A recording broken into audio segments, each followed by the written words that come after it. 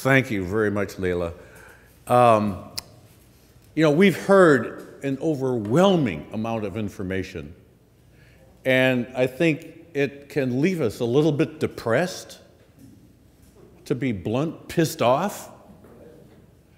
Um, but it can also tend to make us feel this is really overwhelming and beyond us. What can we do?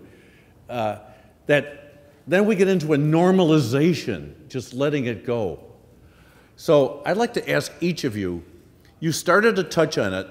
Give us one takeaway of what we can do on the issue you dealt with, where we ourselves could try to make a difference in kind of a micro way. You started, Leila, and let's go in reverse order. One takeaway, and then we're going to open it up, and you can press this further.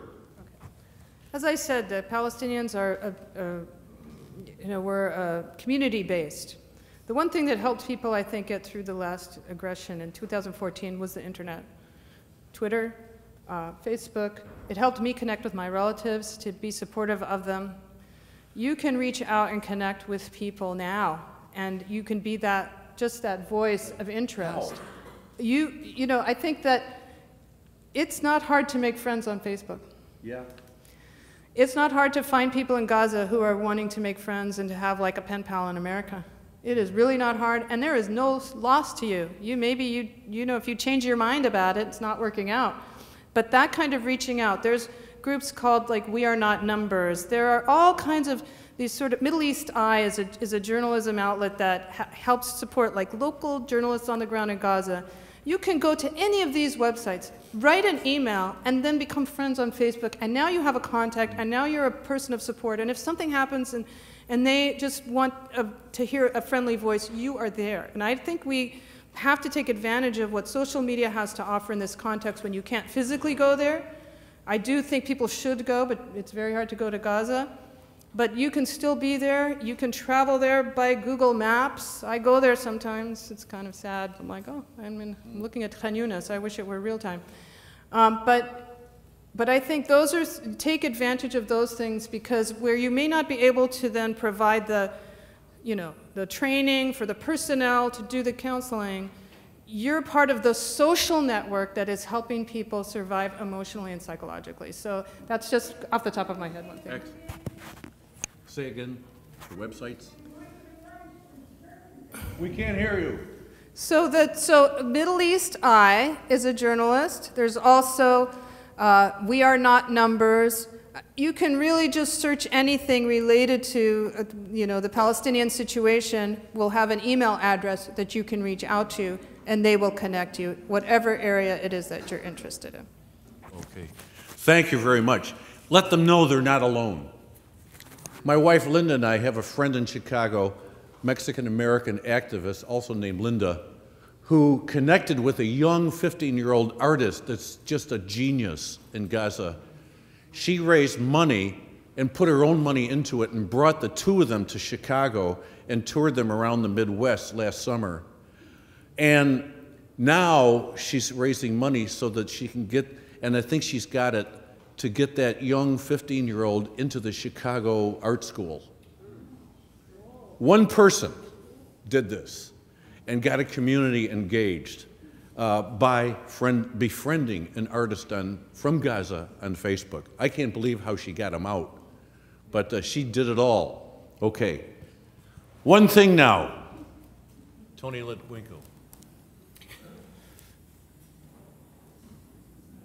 Watch for a report coming out from the World Bank in the next few months on the situation in Gaza. It's in the works. Thank God for Amira Hass. Uh, she had a nice article in Haaretz um, a few days ago, a few weeks ago, in which she interviewed um, an economist from the World Bank. And he said that a report was coming out. So you should watch for it. The other thing is, just when you're sitting on your computer, do one little search a day to get informed about it, about water, about the rights of children, whatever it is. And when you get that information, talk to people about it. I'm working on two very conservative friends of mine And I try very, very, very hard to just present them little bits of information to open up their mind to the fact that what is going on over there is illegal and immoral and unjust. And we don't want to do anything else but stop it. One thing, right now, right this minute, there are many dedicated organizations in the West Bank and Gaza helping children. One of those is the YMCA of East Jerusalem. They're helping to rehabilitate some of these children we, we learned about who are incarcerated. There are organizations that are building and putting in place playgrounds playground builders, many organizations. There are, and on the internet you can find these. There are many of them. Uh, organizations of lawyers helping these children. Medical organizations providing Kinder USA and many others providing medical services. It's really easy on the internet to find these. And uh, that's an immediate step that we can take today that will have immediate results and provide hope for people in Palestine. I'm going to add one, Tom. Um, Linda and I were part of defend, uh, the uh, No Way to Treat a Child getting off the ground in Chicago through American Friends Service Committee, JVP, FOSNA, and so on. In fact, Linda gave the name No Way to Treat a Child to this movement. And it has really developed. They held hearings in Congress. Congresswoman Betty McCollum from Minneapolis held hearings a year ago. And now, with this outrageously pro Zionist political climate, they've held off. But hearings are in the works now. And stand by for those to be announced but we have found that this is the one thing about Palestine that our Zionist Democratic congressmen in the South Chicago suburbs, Dan Lipinski, is willing to listen to. Nothing else. He signs every damn pro Israel legislation piece, anti BDS, and everything that comes down the pike. This is one thing that we think got to him when we went in and confronted him. So, a delegation to your congressional office or your senator pulled together a few people, Jewish, Muslim, Christian, whatever, do your homework, and then pester the hell out of them. Linda called their office weekly for seven months to get an appointment. And when we walked in, the organizer, what was he called? Uh, the chief of staff in the Chicago office said, Oh, Linda Khatib, you have harassed me for seven months. Nice to meet you. That's what we have to do. And this is one issue to consider uh, doing something about in the next few months. Okay, now let's open it up to you. Press us further, ask questions You heard about what happened to World Vision uh, from the Israeli government, they went after the 800 pound gorilla that has basically spending millions in Gaza in order to help the people of Gaza. And the way they did it was unconscionable. They attacked them in the media before they even went to World Vision to say uh, there's an issue, which wasn't an issue. And when the countries involved, like Germany and Australia, stopped the funding to World Vision and said, give us proof, they said, oh, we will get evidence. So when they went after World Vision and then they went after UNDP, and the UNDP person in Gaza had to plead, uh, plead to lesser charge, so now they're trying to cut off the funding. And I agree with you, the only way to do it is to go to members of Congress and especially from churches, considering the administration and other things that are going right now, and indicate to them that we need to provide more funding for the children and the women and the aged in Gaza.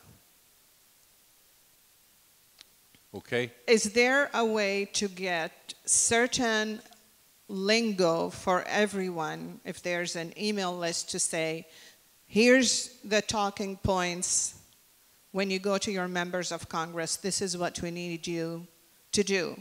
And, and in addition to Kinder or Calendar USA, uh, there's also ANERA and other organizations. World Vision has Palestinian children that you can sponsor too, but you won't find them on the website. So there's a whole bunch of ways of doing this. But it's crucial that we uh, get in touch with our Yeah. members of Congress. And if Yeah. there's any suggestions, please let us know. Thank you, Rima, for raising that case.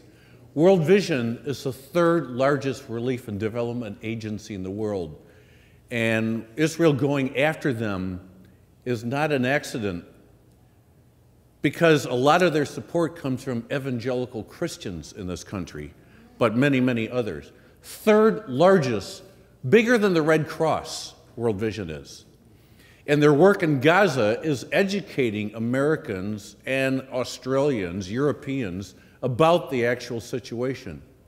So the lies they put up against Mohammed in Gaza and to put him in prison and on trial for bogus charges that have now been revealed as uh, totally bogus is unconscionable.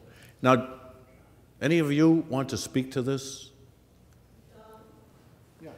Esther, why don't you come up? If anybody is interested in lobbying your elected representatives, please come talk to me. JVP has been working on this for four years. We've learned some things.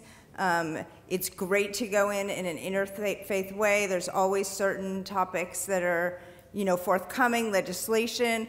Uh, I would suggest not framing it as anti-BDS legislation, but as framing it as the suppression of Palestinian advocacy. Um, and just things like that that we've learned. So please come talk to me. I will, um, you know, give you my information. We can figure out who your reps are and how to get a meeting. And the other side does this. If we start to get together, if they start getting phone calls, if they get letters, if they get faxes, as it turns out, they still use faxes, and it's better than email, but it's all about the numbers. Politicians like to or need to hear from people in their district because you are someone who can vote for them. Thank you. Talking points, they, they have them, but in your district, I think if they can get, if the, if the member can get 20, uh, perhaps consistently 20 to 25, they'll start listening because they sure get it from the other side. They're wondering what all of these kids are arrested for. Is it more than just throwing rocks? Or what can we do to go over and counsel them in nonviolence so they are not punished in such a huge way?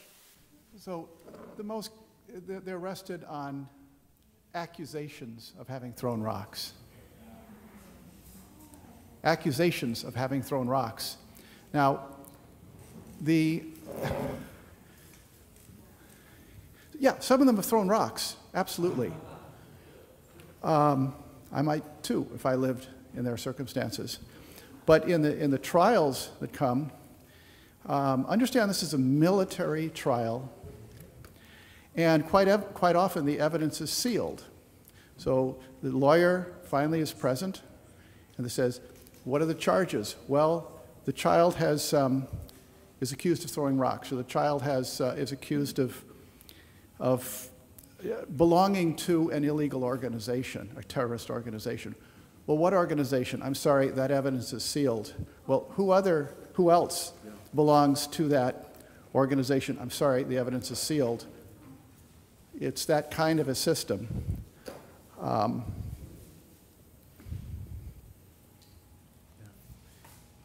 Can can I add to that? You, you might want to use as leverage the fact that in Israel, adulthood begins and childhood ends at the age of 18. But if you're Palestinian, adulthood begins at the age of 16, not 18. So there's a discriminatory basis in the law. And for them to arrest children who are less than 15 or 16. I mean, 15 and a half, you know, it's marginal. Um, But if they're arresting people less than 15, that is such a violation of the Convention on the Rights of the Child. And you, you really need to go and consult and get an, an executive summary of that and use that when you're talking to your congresspeople. Use that. You know, there is a Palestinian like law enforcement. And in this country, if my son were threw a rock at a building, he, would get, and actually, well, okay, I don't have to give you the details. But you know, things happen in high school, and actually, we had to go down to the station, and there was a case against my son for doing something stupid at McDonald's, okay? But it was the local police department, right? We went in, they released him to us. Um, they, they dropped any charges. We went through the legal system to drop any record of it because, of course, it's his future. It was sort of a silly thing that they did. But that's how it works. So, regardless of the reason that anybody throws a rock or does something stupid as a 14 year old boy, there's a system that is there that protects these children who are minors, right? Like, can you imagine, like, if they took him to another country and then I didn't even know he had been arrested for anything that was so stupid as, like, stealing the Ronald McDonald from the front of McDonald's? That's what he did. um, I mean, it's really that ridiculous. And so we shouldn't look at this in a way that somehow excuses the Israelis because they don't, the military police doesn't need to be involved in this at all in the first place. Because here, a vandalism or something like that would be handled by the law enforcement, and you have a system that you go through that protects the rights of the child, looks at the family, and that enables you to have due process as, as an individual, as, as, as Americans, to get through that system in a way that's fair and just, at the same time that holds you accountable for breaking the law.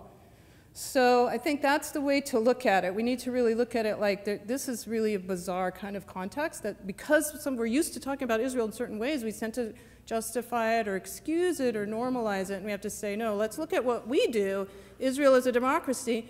Shouldn't it be the same? And realizing, and understanding too, the Palestinians themselves actually have a law enforcement agency within the Palestinian territories that could handle crimes committed by anybody. So. Um, I'll go to Daryl in a second. Wait, this gentleman out here is. No, he's, he's got to go after Daryl. Just keep in mind the proportionality here. Uh, Israel is the only country in the world that really has a judicial system for children and targets children like this. It happens elsewhere, but Israel, the so called only democracy, the greatest friend of the U.S., has the system that punishes and abuses children legally, according to them. Israel is really vulnerable here. But this goes below the radar. This is barely covered in the mainstream media. And this is where we really need to get organized and raise our voices. And just think I mean, settlers with guns going after children, grabbing them, burning them alive, a military for throwing stones. Look at the proportionality of that. So I think we just really have to rise up on this issue much more than we are get organized. And, and go to No Way to Treat a Child. Just Google it. There are talking points, everything you need, plus the slides, most of the slides that Tom just shared with us.